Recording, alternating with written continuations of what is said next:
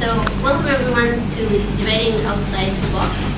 And this is an attempt to not necessarily teach, but give tools for improvement on how to bring out more creative argumentation in debate.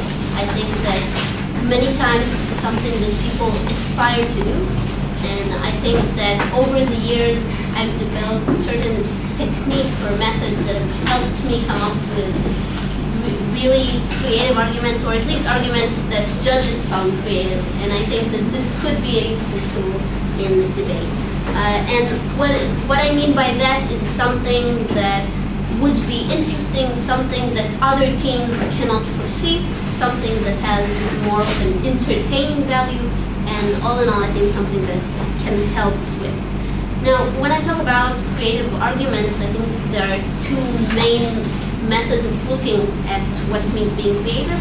First of all, you can be creative in the sense of what kind of things do you want to prove. You bring a new angle to the debate, which is creative. You find a new clash in the debate that is creative. Or otherwise, you can be creative in the sense of how you go to the bottom line that is pretty obvious and should have come in the debate, but the way you bring the process or the narrative is something that no one uh, would expect.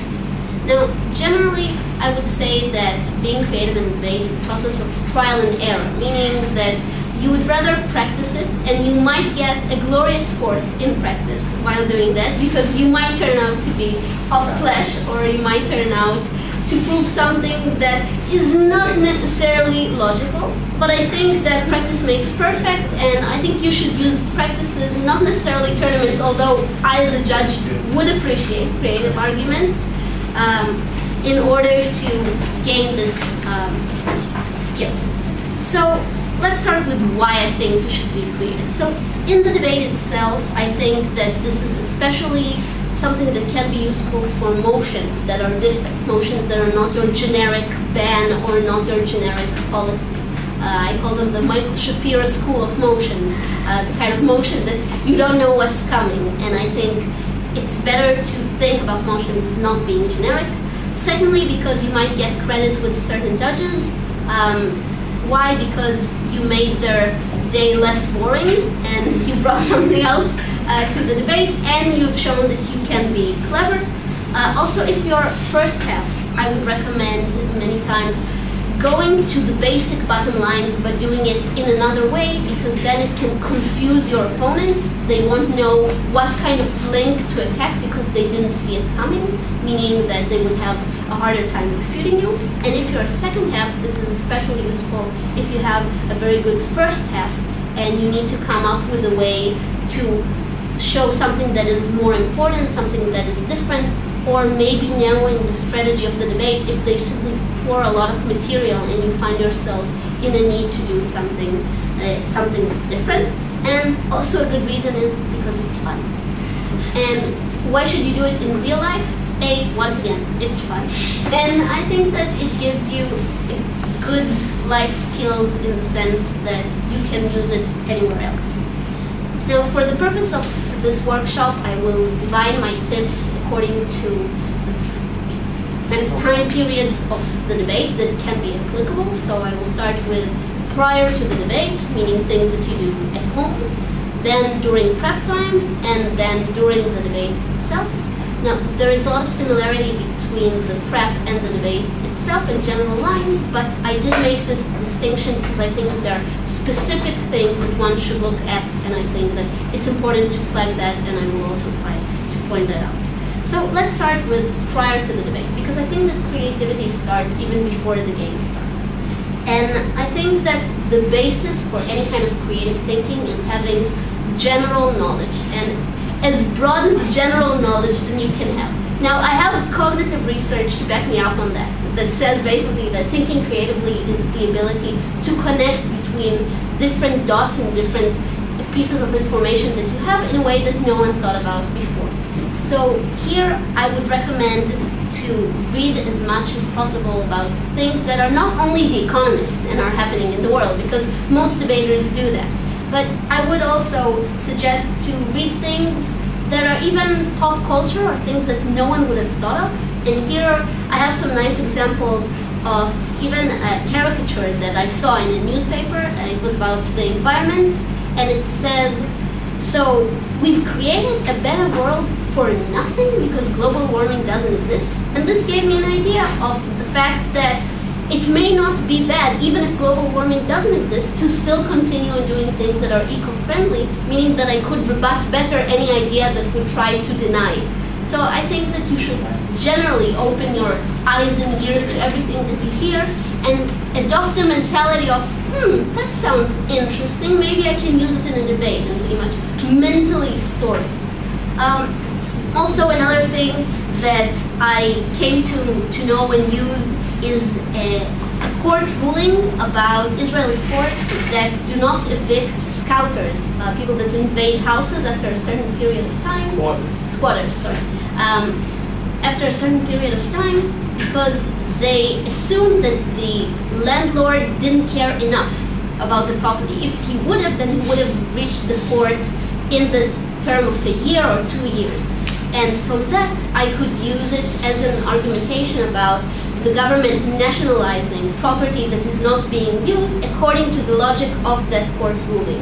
So here I connected this piece of information that I had in order to show off a more broader logic that applied to that, to that debate. Now, I would also recommend to know a bit of theories and concepts that have to do with sociology, anthropology, psychology, not only because I study that, uh, but because I think that this many times helps us with thinking about processes and how societies work, how people think in a way that can be more creative because most debaters do study philosophy or economics, uh, the classic PPE. And I think that knowing words like sublimation, uh, different forms of capital, uh, a good enough mother, uh, the concept of history, uh, according to different philosophers, is something that can help us think of how societies uh, work generally. Now, how do you enlarge your general knowledge? So, first of all, there is the reading of different things on debaters list. You can see Oxford has a very good list of things to read. Now, this contains a lot, so the thing I would recommend is if you have a debate that you didn't know a lot about, after the debate, go and teach yourself a bit about generally the topic that the debate was on. That way it doesn't feel like it's too much, but already when next time you encounter that subject, you have more information uh, on it. Also, I would go to different podcasts or YouTube channels. Uh, I listen to those while doing the dishes. I find that it's very stimulating and my house is cleaner because I have an incentive uh, to listen and learn about debate things. Uh, so here, of course, you have TED Talks. Uh, I recommend Crash Course, which is really nice and gives you basic concepts about history, about economy, uh, and uh, psychology. Uh, you have PBS Idea Channel, which analyzes pop culture phenomena in a creative way. You have Journeyman Pictures for documentaries, which I find really interesting. Usually, they're not about 20 minutes of a documentary, and they have to do with different phenomena all over the world. Uh, so you can do those.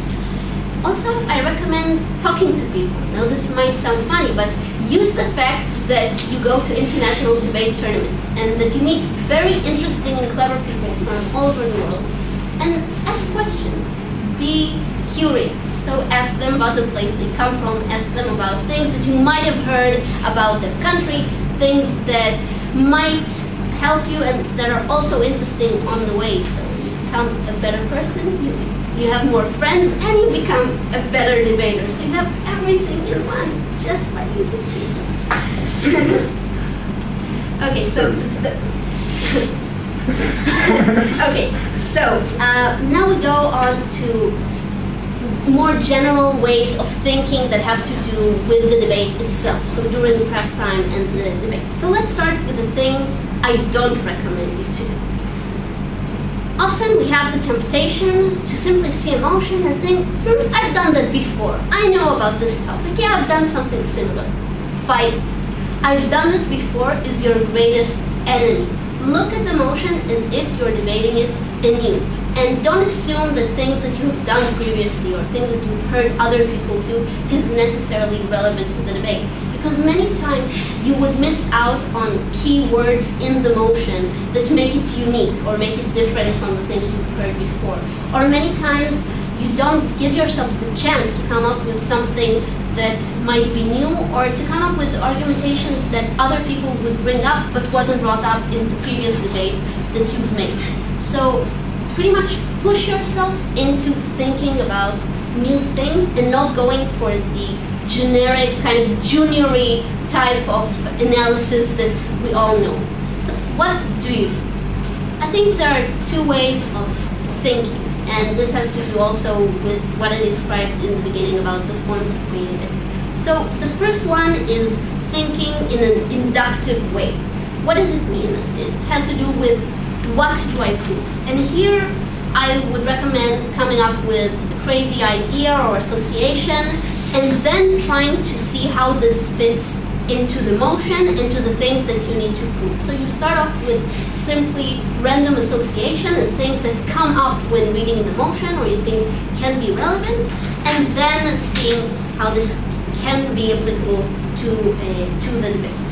Here I can give an example of, we had a motion about conducting virtual wars, and it had to do with redistribution of resources. And during prep, I thought about generally wars, and I and I told myself that most wars today are civil wars or ethnic wars, meaning that resources are not a big part of it. And if I look at the debate from that kind of prism, and I see how the virtual wars impact that, I might have more chances of winning because it would give me a more realistic way to approach the motion and to rebut the things that have come previously. So this was just by thinking about wars and what I know about wars in general and then making it applicable to the debate. Do notice that this might mean that you would be less focused on the clashes themselves, on the burdens. Here I would recommend using your partner and if you know that you are the more creative person or that your partner is the more creative person, have him ask you the questions of how is this relevant? Where would this fit in? How do you think that you can win the debate with this? Is this an example? Is this a process? And with him making the process of actually structuring your crazy ideas into an actual speech that can win and dividing the burden among yourselves. The second way of thinking is a way of deduction. And I think this has to do more with how do I prove the things that all of us in the debate want to prove. So here I would start with asking myself what are the clashes in the debate, what do I foresee that is going to come, what are the burdens, and then trying to think of how I can reach the generic bottom line in a different way. So here I would think that if my burden is prove that schools are effective in conveying a message, to try and think of what is specific about this thing that we are teaching that makes schools more effective when it comes to that. And trying to find a different means of getting to the bottom line uh, of that. Now, when you compare between the two ways, I cannot say that there is one way that is better than the other. I think it's very individual and has to do with the way you think. So choose one, stick to it. If you can make sure that your partner knows how to balance you, or at least tell him how you think, and then if you can combine the two methods, I think it would be the best. If you have one that thinks about the questions and one that thinks about details, it would probably be the best mix. If not, be aware of the way you think and try to adapt your prep accordingly. Now, a means of thinking is has a lot to do with associations. So here the associations can be regarding the specific words in the motion, thinking why the 18 chose those words and not other words. Here I can give the example of, we had the motion of this House believes that the Tea Party creates a better world for liberals.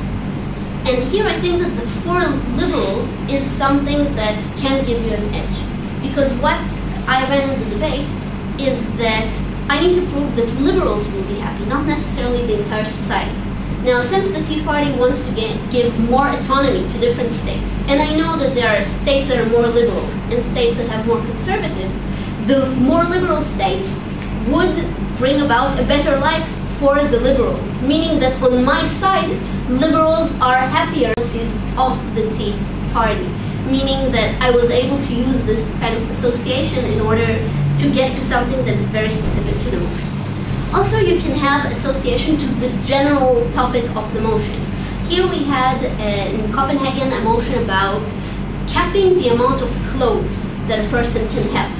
Now this might sound very weird, but going into the motion, I suddenly remembered that Lucinda Davis once told me that in Sweden they have this cultural concept called lagom, meaning that they try to live life in a modest way. And she told me that people don't buy a lot of clothes. And even if they do, they buy the same kind of shirt in order for others not to know that they own many clothes. So I was able to use the concept of lagom in order to show that by capping the amount of clothes, we are reaching an ideal of modesty and of judging people more according to who they are and not according to the things they buy. And all this just from association to what Lucinda Davis once told me that had to do with clothes in Sweden. So you can use those kinds of information. Also, uh, you can think about different actors that are influenced by the motions and the associations that you have with them. So if we're talking about um, giving uh, the uh, the ability to organizations to pay women in order not to abort, then you can think about how those actors will be influenced. And maybe you are pacifying them in a way that is not only beneficial for the women that might now get the money, which is probably the obvious case, but to say how those organizations are the ones to win you the debate by showing that you can pacify them into uh, into more live and let die approach when they feel like the government is not going against them necessarily. Now, also another thing that you can do in the prep is ask yourself different questions. So I would try and maybe go against some of the assumptions that are at the hearts of motions or in the hearts of cases and trying to show that those assumptions are, are wrong. Uh, so an example for that would be in debates about reparations that we got a POI asking why should citizens be punished for a crime that they didn't necessarily uh, commit. And here the assumption that they have is that reparation is a punishment. If you go against that assumption and show you have a much stronger case because their logic of reparations being a form of punishing people isn't something that stands, and if it is not seen as a punishment, it can do more benefits in society.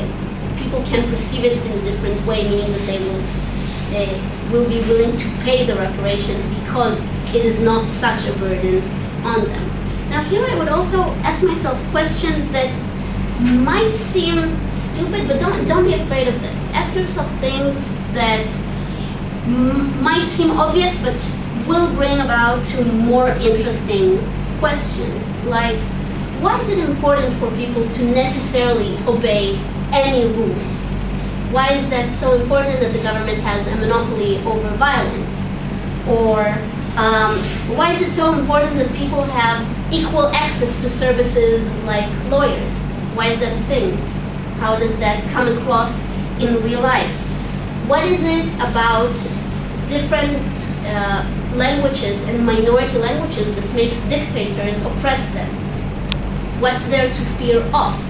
And this can bring you interesting answers that would bring a more interesting question that would start from a lower point of disagreement with the other side, meaning that it would be much harder for them to refute the things you say because you come from a very different approach and you don't agree with them on things that they were sure you would agree upon.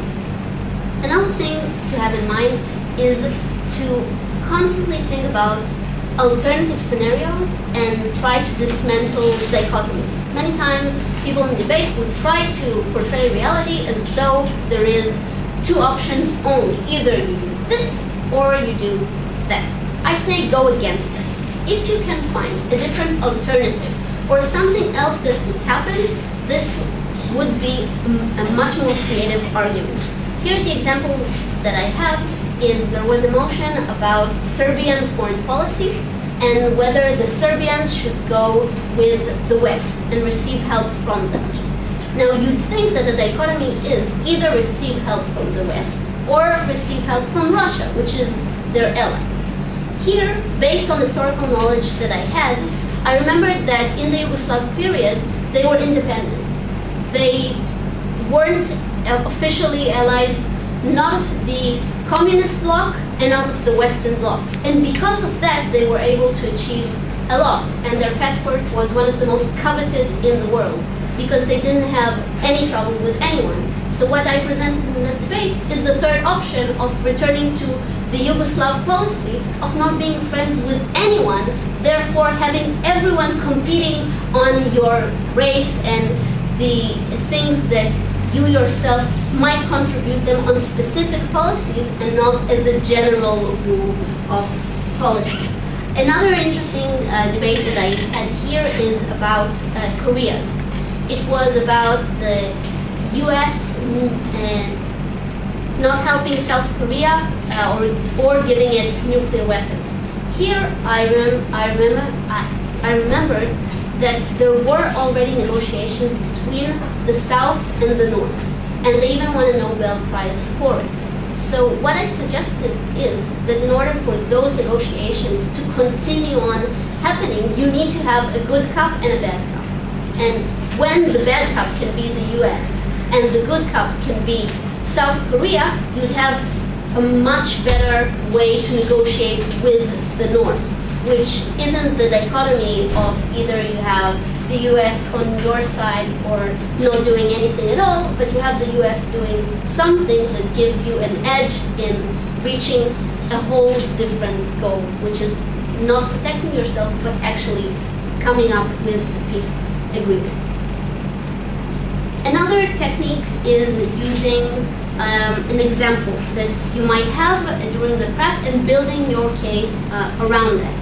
So in the motion of three strikes you're out, my partner and I knew that we were extending on a good team, and the example that we had in mind was gangs. So we built an entire case about gangs and how they would be influenced by three strikes you're out, and how this breaks their uh, modus operandi, and how this is the only way to bring about a safer environment in many places. And it was through that example that we came up with something creative that eventually won us the motion. Or in the motion that we had in Euros about uh, the families of people that died in tragedies and will they give information or not, the example that we had was about the German wings pilot and the fact that there was a debate of whether we should publish the fact that he was depressed and we used this in order to show what are the likely scenarios that will occur in this debate and why we think that this is especially important because this has to do with safety regulation, this has to do with combating stigmas about mental illness, and we had an entire case simply built around this, uh, this example. Another interesting example is uh, laws against sexual harassment uh, that you can often use in debate because those laws were very unpopular back in the day and they, um, they were legislated despite the public not willing them.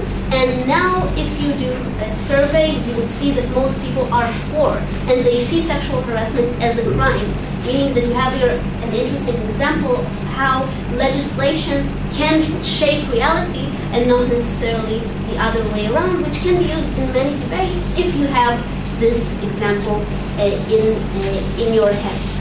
Um, another technique that you might have is using analogies.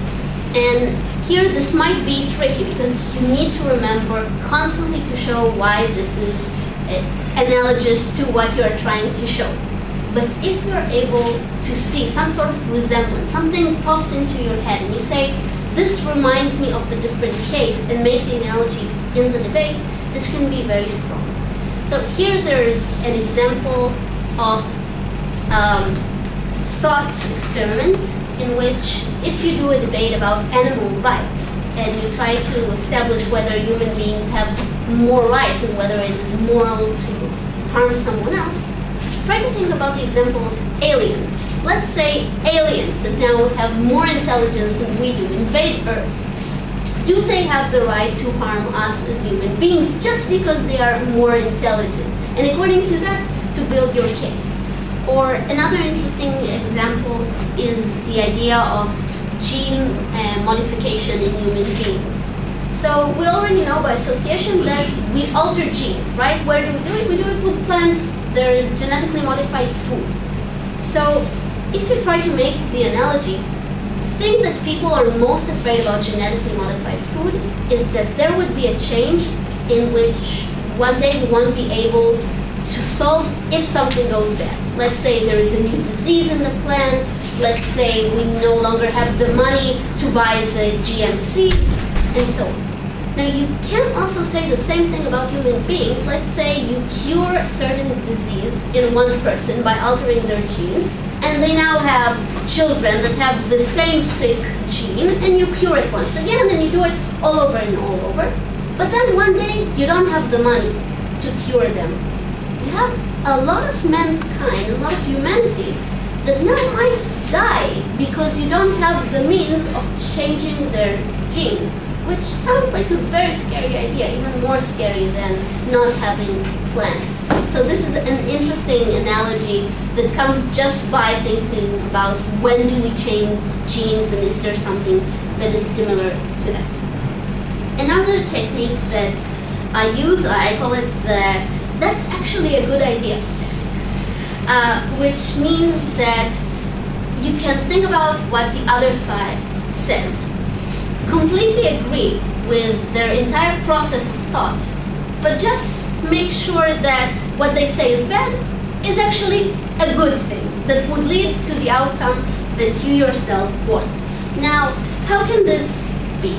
It can be in the immediate aftermath of the thing that is going to happen. So in the motion that we had about taxation and uh, inheritance tax and taxing everything, uh, we had an opposition a claim that said that now rich people would spend more money when they're alive and because they wouldn't want to give it to the state.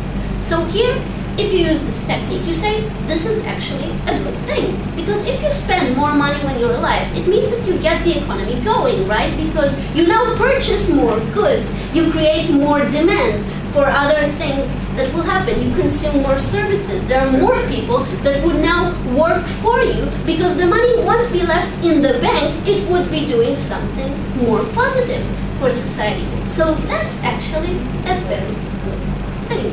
And that's a means of showing that. This can also be a good thing in the long run, not necessarily in the short run, or the new problem that would arise would be a problem that we might handle in a better situation. So if you take the example of the debate about the Hannibal's procedure, uh, in which you shoot a soldier from your army that is suspected of being kidnapped, then one side might say that this would lead to more attempts to make terror attacks on civilians instead of trying to kidnap, because kidnapping is now not worth it so much.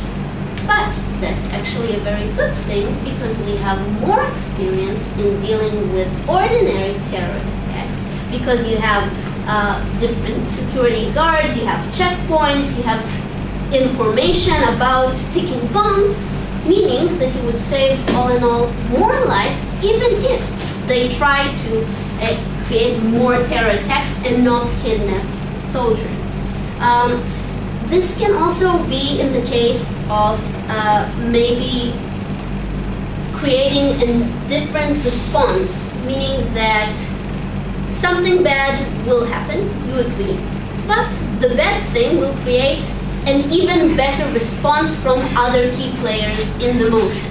So what do I mean by that? I'll give you an example.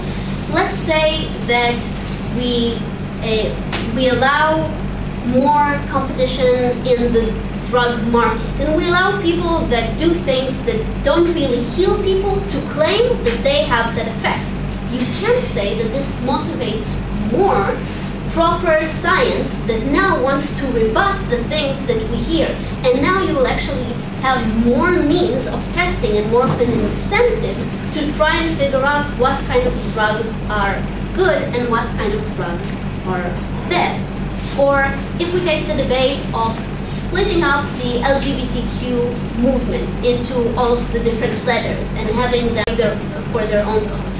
Now you can accept the fact that now there would be less people in each struggle, but since there would be less people, but and now they also have a more focused struggle, you can say that this is actually a very good thing because it will motivate people to come and join that struggle because now they know what that struggle is, and now they feel like they owe more the type of community that they belong to that is more like them, meaning that you create more empathy and all in all more struggles, meaning that everyone wins. So this can also be a good thing.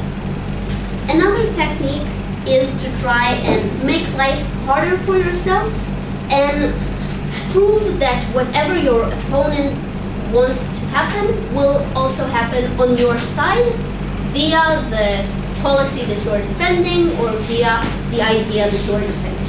So if we take the motion about the Confederacy flag and whether we should ban it or not, you can say that it would be easier to reclaim the Confederate flag instead of banning it, and this is something that would happen in a greater likelihood in the status quo instead of via, via the banning. Also in the motion that we had in Euros about using coercion and deceit in order to get intelligence. So you can say that even in the moral clash of this is something wrong to do, that actually deceiving people into giving information is more moral. Why? Because if you deceive someone, he doesn't know that he's giving away information. He doesn't know that he's a traitor, meaning that he himself doesn't feel bad, but moreover than that, there are less chances of him discriminating himself. And there are less chances of maybe the Hamas government finding out that he has given information, meaning that they won't kill him as a traitor because no one knows, because he was uh, he was cursed into doing that. Meaning that even on the moral flesh, you can find something creative to say, and I would try and go the extra mile to prove those things instead of simply assuming that side opposition necessarily wins the moral clash. Now, generally thinking, I would say don't be afraid to go full out with your principle, especially if you're a first pro. I say accept the damages, but go for the bolder case you can try to hedge over and mitigate all the dangers. But A, it's a bit boring. B, it's very hard to come up with all the things that can be attacked. So I would try and go with a more broader principle and defend a concept and say that you know that this might be a revolutionary thing. You know that this might have drawbacks, but you think that all in all, a world with that concept is a better one. And here, I think that there is the example of giving uh, licensing for parenthood. You can say that there are certain people that shouldn't be parents, but I think everyone would agree. Or you can go full out on the principle and say, no, we want only people that are really good to be parents, and that's what we're going to defend. And try to show why a world in which you can control who has children is a better one, and not only talk about specific cases that might fit in. Also, in the case of um, allowing people to commit suicide and assisting them. I think that you can go full out and say that even remaining alive is irrational, meaning that you don't really need to preserve life, and there is a huge assumption on the other side that life is something that is worth valuing. I would go for there isn't really a difference, therefore, we as a government shouldn't ban people from trying to take their own lives or should assist them in the case that they want to, meaning that now you have a stronger case. Also, I would suggest generally don't be afraid of having crazy cases, uh, especially if you're first up. Why? Because then it hurts your second up because they have to go with the craziness and they cannot contradict you. And also because I think that no one would expect that. So what do I mean by that, there was a motion about teaching kids in former uh, colonial uh, countries uh, English and having all of their school courses in English. First op can say, no, it should be in their own language and explain why English is bad. Or first op can go crazy and say, you know what, we agree that they should all have one language, we just think that that language should be Chinese Mandarin. And then have a whole different debate, which no one else expected, which at least could be fun. And if you do it well, and if you do it well, it can be a winning case. So, yeah, for leader opposition, it would necessarily be fun. But, you know, I, am for the side who says uh, the crazy, the crazy thing. You don't include as many people. Also, I would say, don't be afraid of being provocative, not in the sense of offending people or saying things that go against certain groups, but in the sense of saying things that are not necessarily popular, like going against democracy. Who says democracy is such a good thing? It's quite provocative to say that maybe it's not, but it can win you a debate if you do it well enough. So don't be afraid of that. Now, specific things that you can put your emphasis on during prep time. So as I've already mentioned, use the fact that you have a partner and that you're not alone. This can be used A, in coming up with ideas. Uh, it means that you have a more of a group intelligence thing in which you have more ideas and more things that you can bring to the table, but also the idea of checks and balances. Making sure that you don't do things that are too extreme on the creative side, but are not too boring on the structural, generic way that you should debate. And here, I think that it's very individual in the sense of how you work with your partner, but do try to be aware of how you operate, what's the best way to work with you, and let your partner at least know of that. Um, and if you're not a creative person, maybe tell your partner to come up with the more creative things and you do the other, uh, the other part. Specific things that you can do in the debate itself. So generally there are all the tips and methods that I gave you of how to think, but I would also recommend to improvise more. Now, here, I think that this might be a challenge, and this mostly has to do with people that are extension speakers. Uh, sometimes, uh, thing that I do is I listen carefully to the debate and I see how it unfolds. Now, during that time, I may not develop all the arguments and the ideas that we had, but what I think this does give me is it gives me the ability to get more ideas as the debate unfolds. I might hear a certain word that came up in opposition that might trigger an idea, or I might see that the debate is going elsewhere, meaning that I should adapt and I should try and improvise, maybe shift the clash, maybe prove things in another way, which I think is very important. And also, you can understand what was lacking in your prep by seeing the, the debate. I think that many times by seeing the faults of other people, it can give you the idea of what is the missing link, where do I fit, and I think that this is something very important. Now, this might give you less time to develop. I usually start developing, if I get the general idea after two speakers, maybe three. Uh, but I think that this room for maneuvering is something that is very good. Do notice that you need to communicate to your whip speaker what you're going to talk about and not to cause them a heart attack. So although this has happened in the past, I, I did it to some of my... Genuine A small uh, but if you have a good whip speaker, then simply tell him to listen carefully to what you say.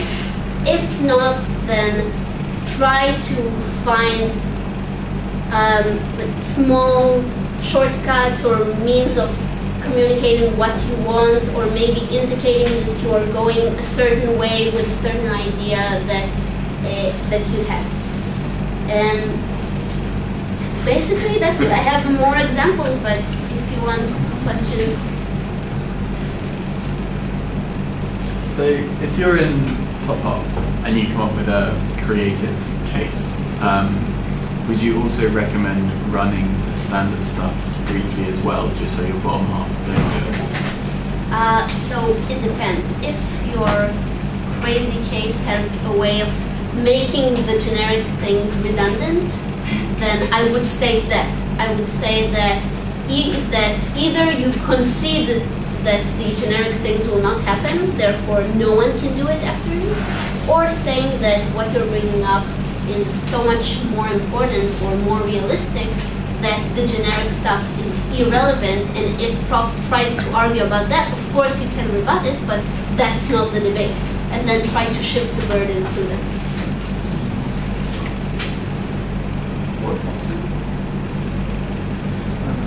Uh, uh, so you actually pretty much described my prep plan with Desi.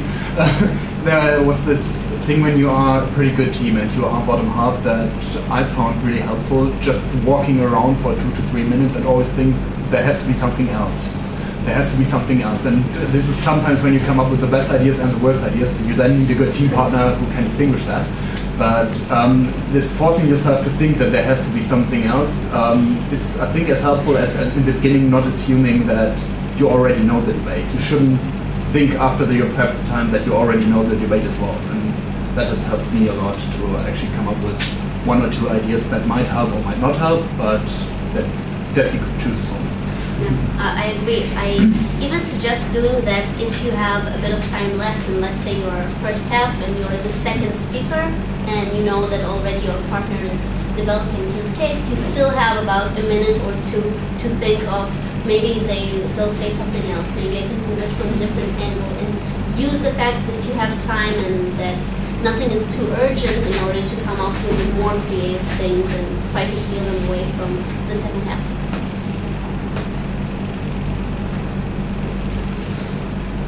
Uh, We're all good. What? We are all good. Great. So that's it.